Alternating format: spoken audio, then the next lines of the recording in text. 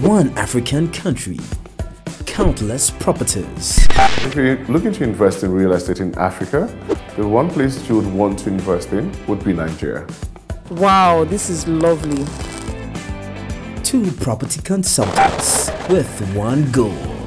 But you know my property is going to sell faster than yours, right? no, that's never going to happen. Tag listed. Your plug for real estate in Nigeria. Coming soon, March 2018.